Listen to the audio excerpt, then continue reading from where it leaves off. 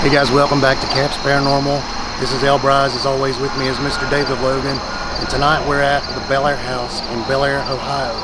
Um, we spoke with the uh, owner of the house tonight, and we've got an investigation scheduled, so please look forward to uh, that upcoming video really soon.